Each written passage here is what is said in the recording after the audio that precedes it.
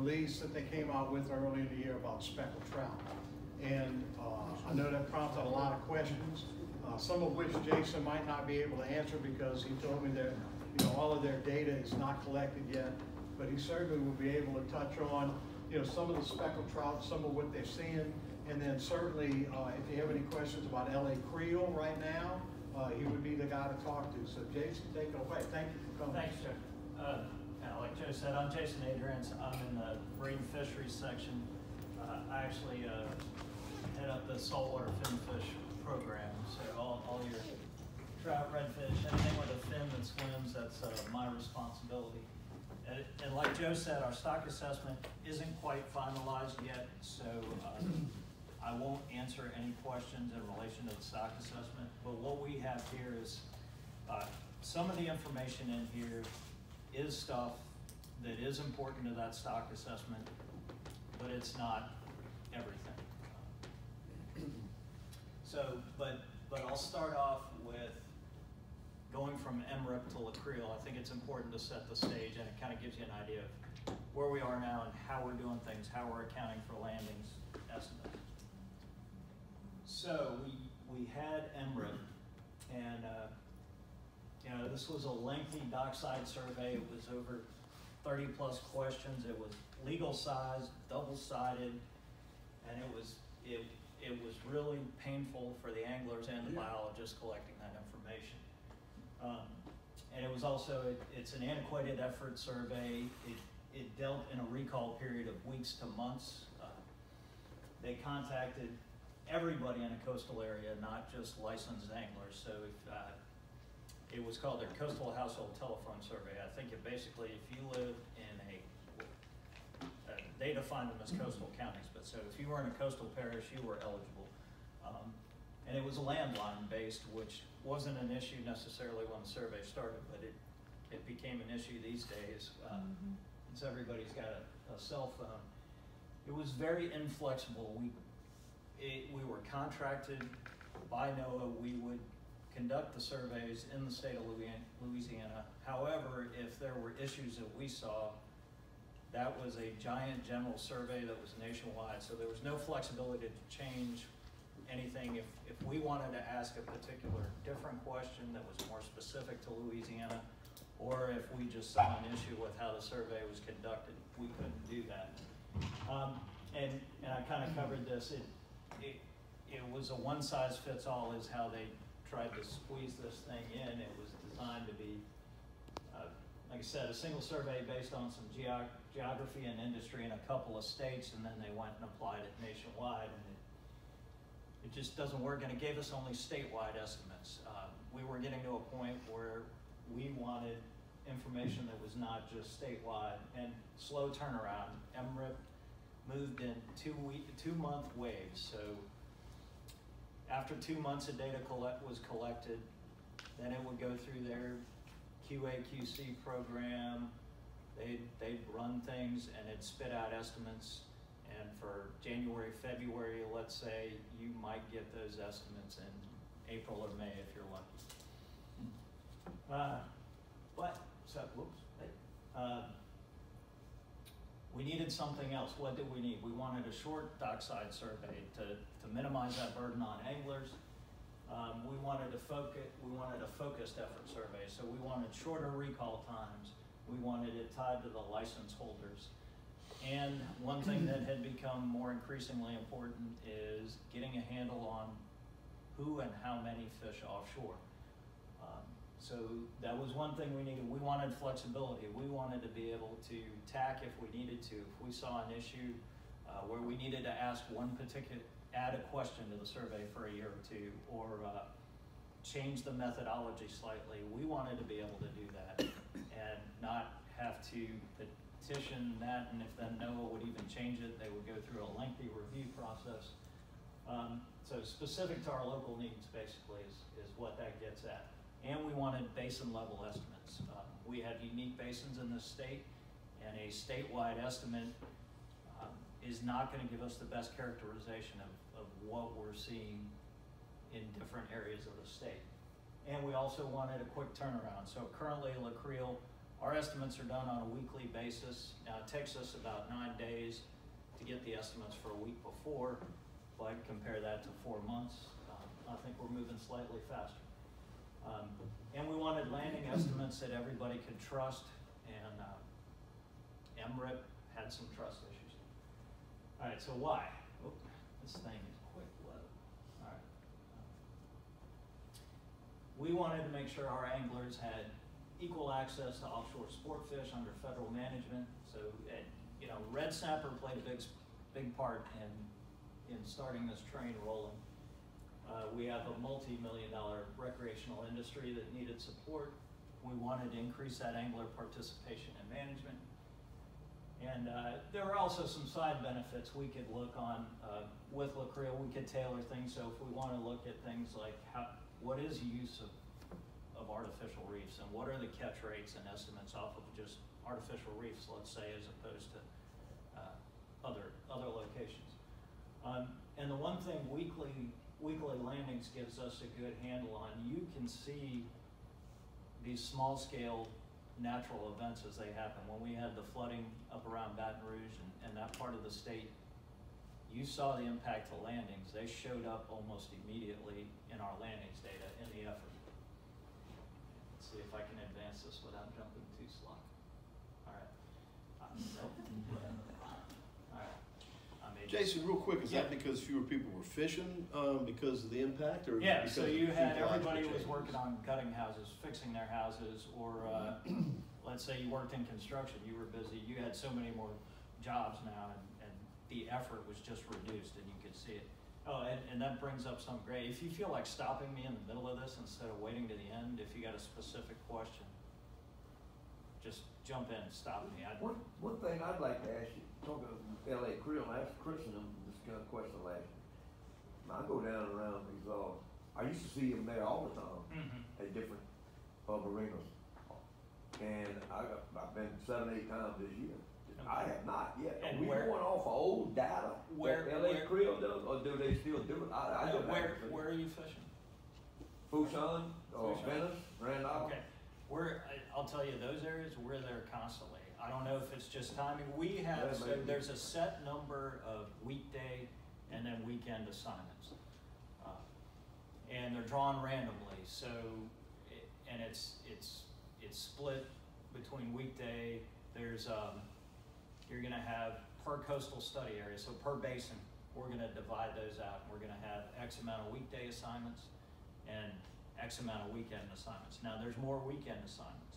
Right. And then when we draw those particular marinas, we base it on what we call pressure. So our biologists go out and, and throughout the year, they're looking at activity at a particular launch and they're gauging that activity in relation to that time of year. And that goes into the proportions and then that goes into, you know, the big black box computer and it spits out a probability of someone being at that location. So I guess I just missed, but I, I do get the survey. Yeah, and- and then Some the other some thing information is- Comes off it too also. Yeah, so the other thing is we'll draw them in that sense, weekday, weekend, but then there's also AM, PM. Uh, So if you're coming back in the afternoon and that site had an AM assignment, you're not gonna see them, or vice versa. Uh, So we implemented LaCreel December thirty-first, twenty thirteen, we ended our participation in MRIP, and January first, we rolled out LaCreel. Do this. All right. Oh, no, it's still doing it. Oh. Okay. Stop. It's got a hair trigger. It does, man. Okay. So, uh, these are our LaCreel basins. And all these white dots, those are the marinas and launches we go to. So, and, and that, that delta, those delta estimates, while it's, it's treated separately for, for drawing assignments and such, that effort ends up being part of the Barataria Basin estimates, just for reference. So all those little, uh, I can't hardly see from there. Yeah, all these little white, That, that's, uh, uh, but that's not where, like, red snapper and stuff come in, and the Creole taking, uh, like speckled trout estimates? no, most of your red snapper, obviously. Right, they sure, come- no, no. Come down here, here, over here. But black and brown lake punch train, Yeah, uh, what, what was the question about? like, Yeah. Those, those, those samples they taking there, red snapper and stuff up there? No, no, no, this is, so that, so LaCreel is not red snapper specific, it's all Oh, that's what I- species, all saltwater species, correct, so, uh, red snapper drove a large part of the train in, in getting to this point, but we replaced, like, if you see a lot of the other Gulf states have these separate red snapper surveys, or Florida has their Gulf Reef Fish Survey, um, those are not specific to all their marine fish landings. Are, we implemented a survey that's, that's all species. Uh, we didn't just stop with red snapper. So who's doing all these surveys? I mean, you- guys. Our biologists. Uh, and I, don't have the exact number on me, so don't quote me, but I wanna say we, we contact in the ten to twelve thousand people a year uh, in those dockside surveys. We're touching eighty, ninety thousand fish. Alright, uh, so, we went through all this, and, and from the minute we started, we actually let NOAA know, hey, we're, we're doing this. And we actually, in twenty fifteen, we had meetings with NOAA Fisheries, their statisticians, and some consultants that they hired that were statisticians. And we presented them the, the nuts and bolts of the survey and how it works.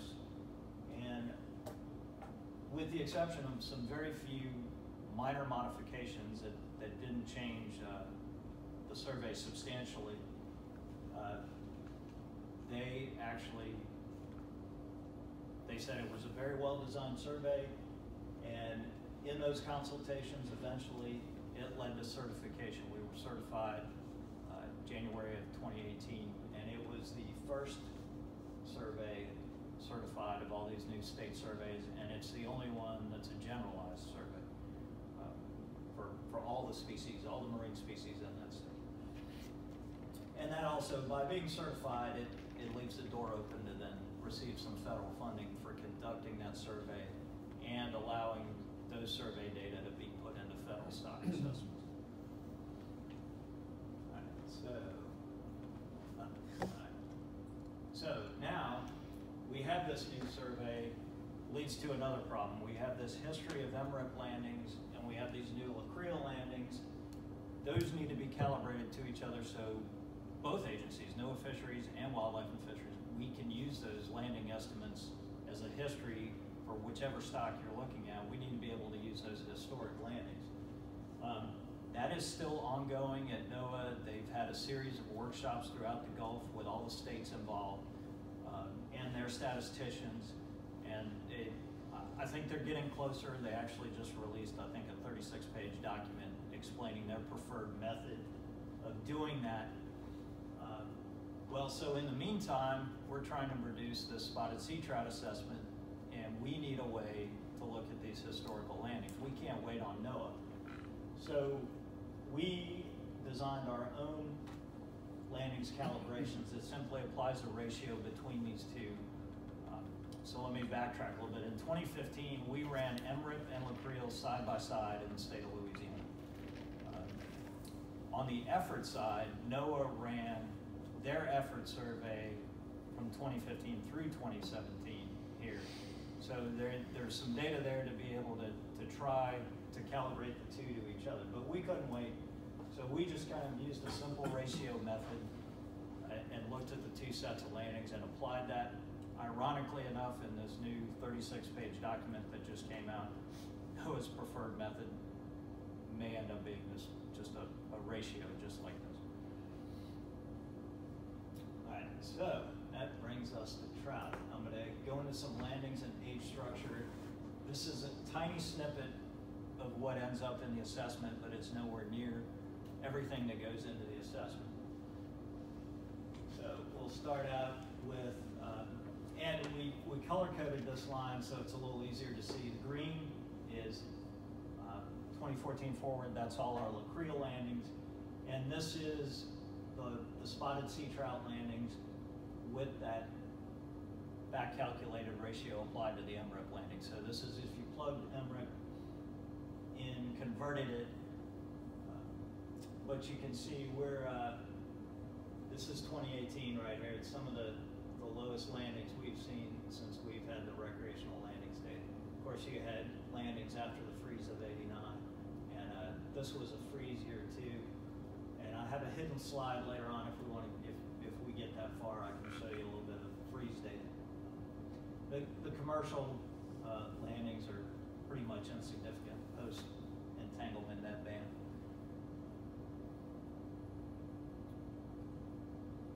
All right, so these are the landings by basin. And, uh, the, the num, these are in millions of pounds. The, the numbers aren't as important as just to give you an idea of scale of landings in the different basins. Um, And area one is that Pontchartrain Basin, which includes everything east of the river to the Mississippi line. Barataria Basin is between the river and Bayou Lafourche and includes those, those landings in the delta.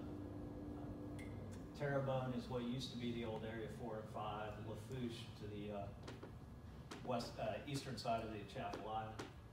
And then, uh, Vermilion Teche is the Atchafalaya to Freshwater Bayou, and then Calcasieu Sabine from Freshwater Bayou all the way to the Texas line. Um, So you can see it's the southeast portion of the, or well, the, the eastern portion of the state mainly, where, where the majority of landings happen. Uh, This is that same sort of graphic, just uh, in bar form to give you a little, little better idea if the lines, uh, if you prefer this sort of look at it. But you can, you can see again that the majority of the basins driving the train are uh, east of the Atchafalaya. All right, so some landings, uh, this is percentage of total recreational harvest. If you, uh, looked at what charter contributes and then what recreational contribute, rec- private recreational contributes in each of those basins. You can see by far, uh, the private catch is the majority of it, uh, you know, biggest, biggest charter. And this is twenty fourteen through twenty eighteen, and in those years, uh, she got about six percent here in, in the Barataria system. Uh, as far as charter comprising total proportion of the land.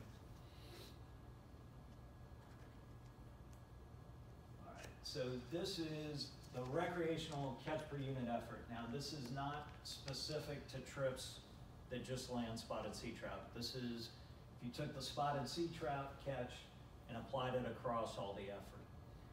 Um, And you can see once again, uh, in these, so, you know, you're, you're topping out at three point some fish here in, uh, actually, uh, Terrebonne 2017. But you can see once again, it's it's the eastern and southern portion of the state there that drives the train. All right, so this is the proportion of age three fish, or age three plus, age three and older fish in the population. So something we've seen recently is that proportion of fish has been dropping dramatically in the population. So, you know, we used to be up here, uh, between five and ten percent on average. Now we're below five percent. And this is by basin. Now, I'm, I'm gonna show another graphic in a minute that takes out, uh, the Vermilion Teche Basin. There's so few samples in that basin. There's a lot of noise there dependent on how many samples they may have picked up in a particular year of what size fish. But there's, there's not a lot of actual age samples from that basin because there's very few samples in general because it's a lower effort. Um, And you have the, the Atchafalaya, Atchafalaya outflow drives that basin dramatically um, as far as your ability to catch spotted sea trout and where you're gonna go to catch them. Uh, So here, if, if, if you pull that out, this, this is the statewide line. Uh, and you can see we, we drop down and it's, it's been steadily low. Uh, get a little bit, a little bit more older fish in Calcasieu Sabine, but, uh, still statewide when you look at it, it's down pretty low. All right, so if we, if recommendations are needed once we present the stock assessment to the commission, this is kind of, kind of a timeline of, of what we would do. The assessment and the status of the stock we present to our commission.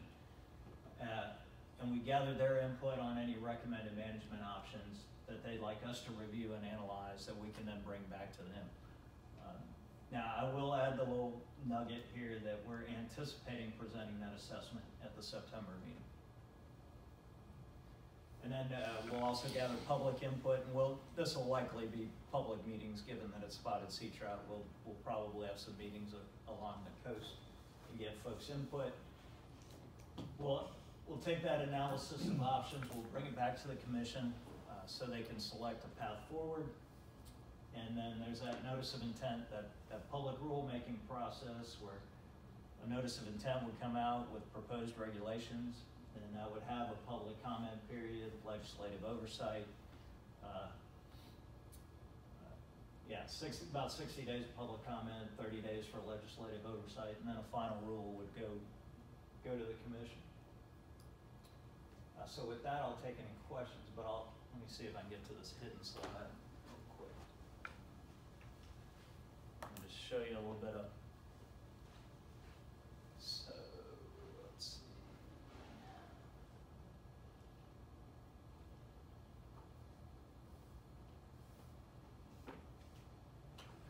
Alright, so we, um, this is nothing that's, that's, uh, super vetted yet, but we decided to look at some landings and some water temperatures, uh, below a certain mark in particular years and graph that against the landings. And,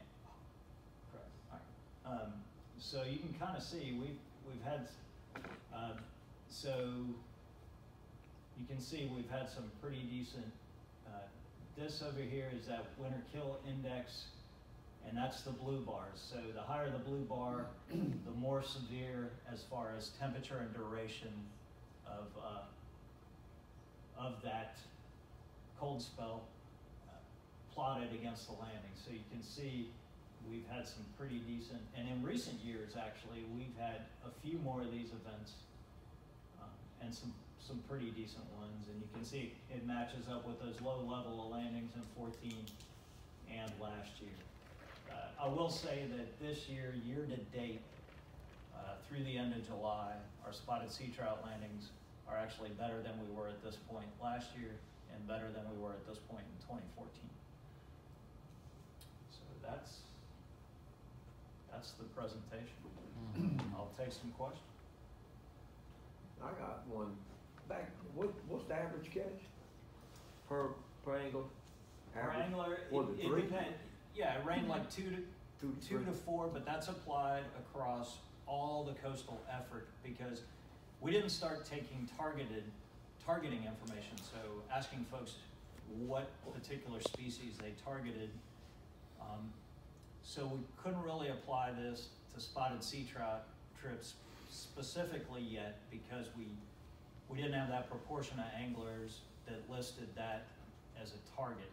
Now, that is different than if we did a bag limit analysis, let's say, um, which would likely be in that set information presented to the commission. And, and that'll show you, of people harvesting spotted sea trout, this is how many, what percentage catches this many trout versus this many trout. But the, the reason I'm asking, because years ago, I forget if it was Harry, whoever it was here, uh, maybe another biologist out of the department, he said to make any difference, because this came up before the speckled trout limit, make any difference, you'd have to catch less than angler, you'd have, in other words, if it was four, per, per trip, you'd have to catch, uh, uh, you have to lower the limit to two, I, I don't believe in that. Keep reason. in mind, I- I this, this is not, that slide I showed you is not the same as a bag limit analysis.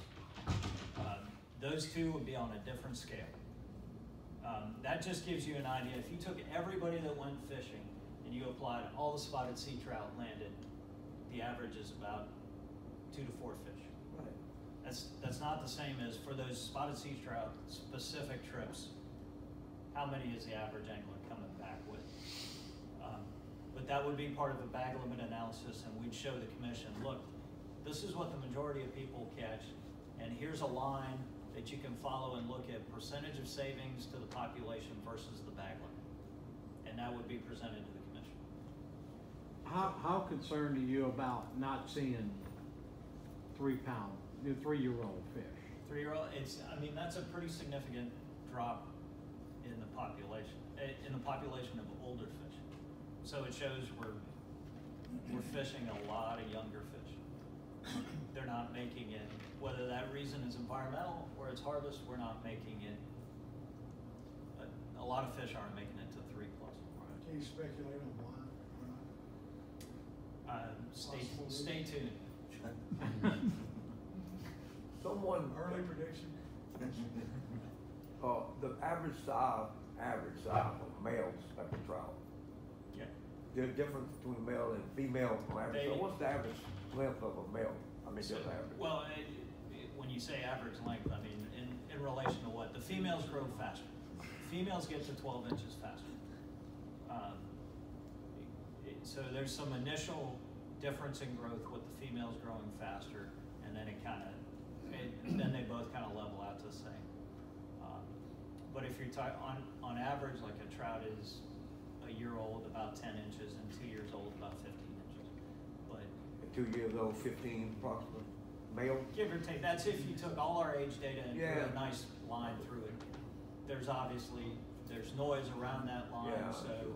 you could have an eight inch fish or you could have a thirteen inch fish that's a year old. My, my concern, and I think I probably asked Harry about this, was, um, the impetus for this came from, the impetus for the concern about speckled trout came last year, obviously when the catches were, uh, in June when they dropped off pretty dramatically, is that when, when it started?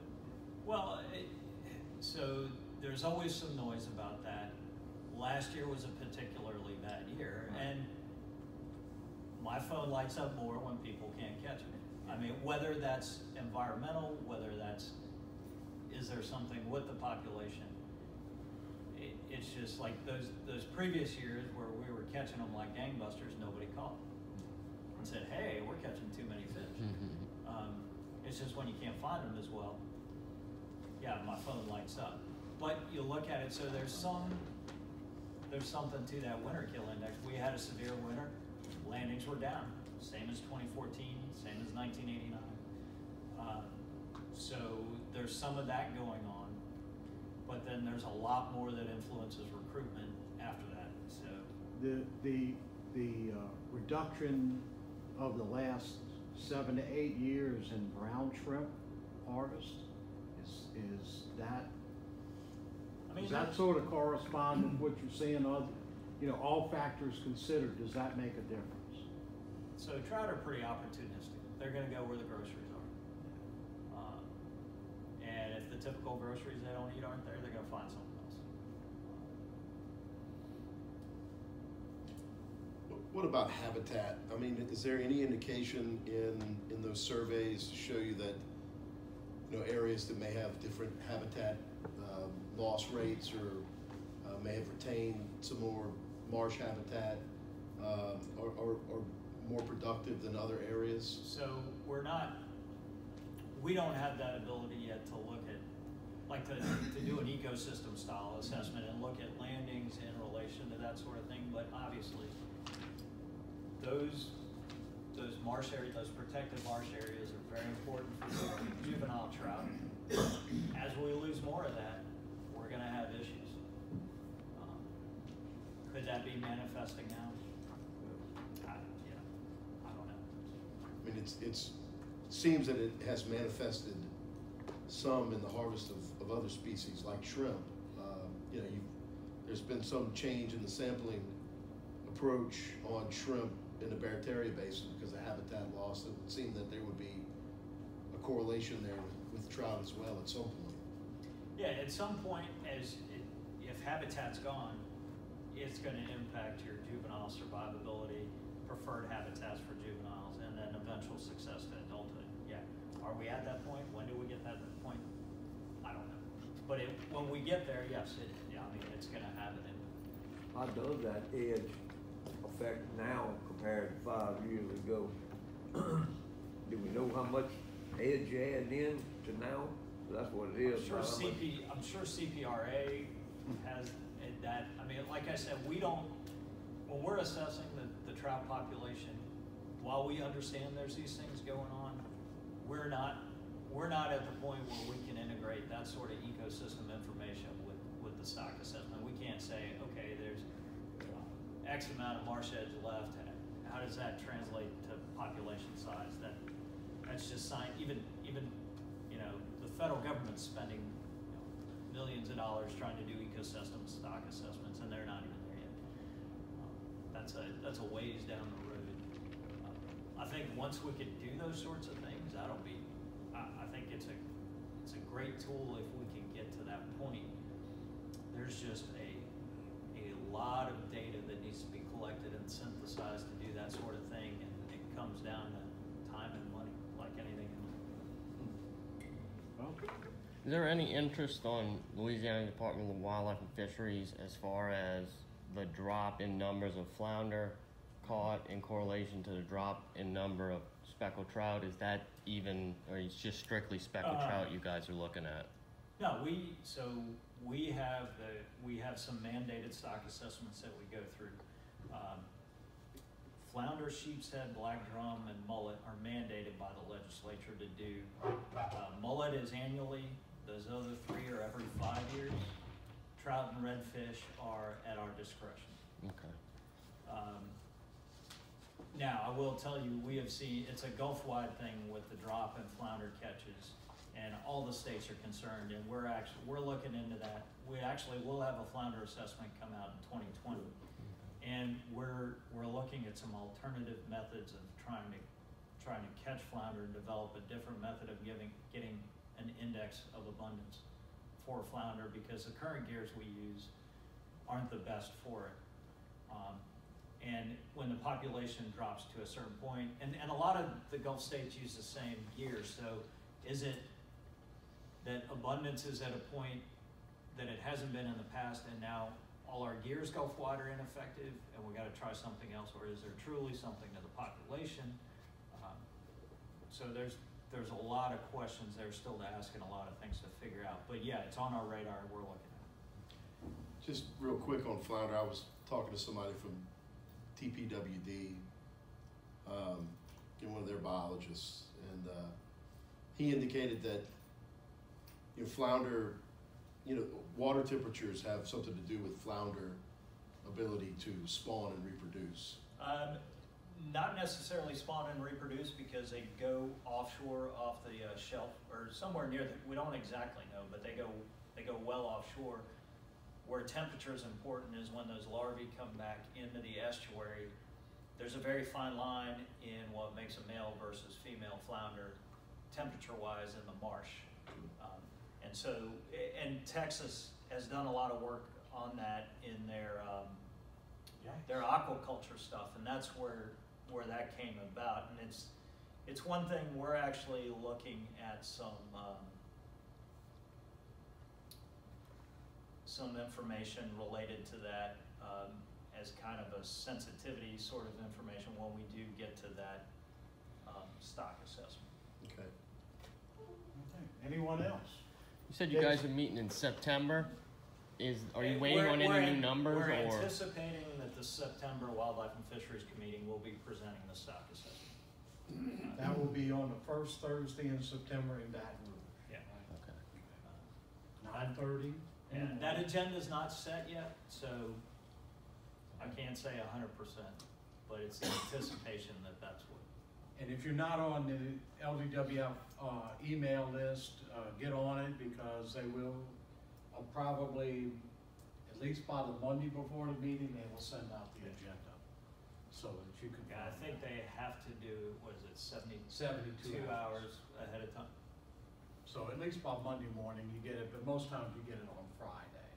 So, um, Jason, thank you very much. You're welcome. Very informative,